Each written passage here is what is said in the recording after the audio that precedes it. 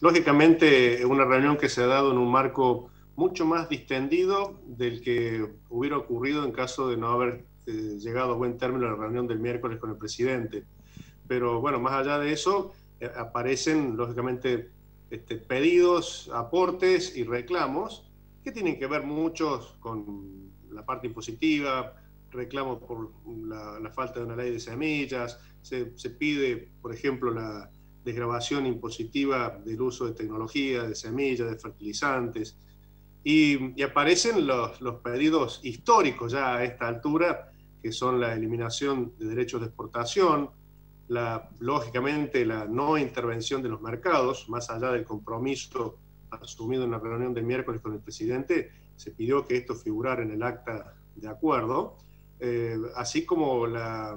previsibilidad que necesita la actividad agropecuaria. En ese sentido, desde la producción agregamos eh, el desglose de esto. A ver, mínimamente que no nos cambien las reglas de juego, peor obviamente, en, el medio de una campaña. Y cuando iniciemos una campaña de siembra, sepamos cuáles van a ser las reglas de tipo de cambio, las reglas impositivas,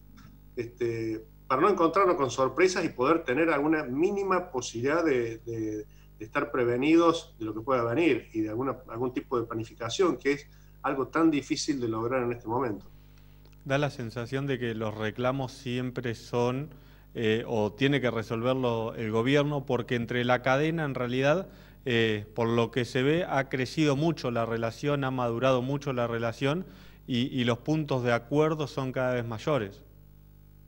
Sí, y ya se empiezan, más allá de que por supuesto aparecen este, reclamos eh, internos y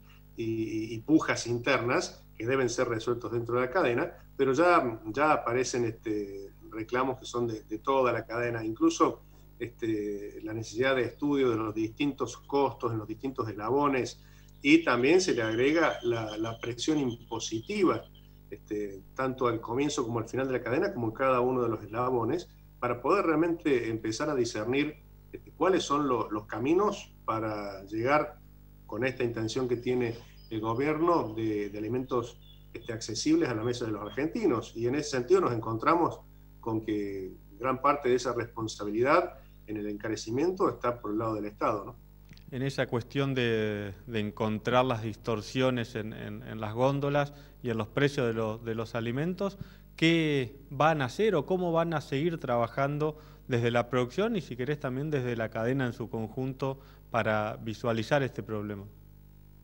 Y bueno, ahora aparecen la necesidad de, estudiar en profundidad cada uno de los, de los eslabones este, para ver cómo es que desde la producción se llega a un alimento donde se multiplica tantas veces el precio que recibe el productor para llegar hasta las góndolas. Hay allí una, una sucesión de, de, costos que hay que tratar de eficientizar al máximo y de existir algún tipo de distorsiones intermedias, eliminarlas, para que ningún eslabón tenga una supremacía sobre los demás y, eso genere un incremento de los costos en toda la cadena o, termine generando una falta de eficiencia. Eh, yo creo que esto sirve para sincerarnos, para realmente hablarnos con, la verdad y, evidentemente para desnudar también lo que decía hace un rato, que es la realidad del peso del Estado en cada uno de los alimentos que consumimos.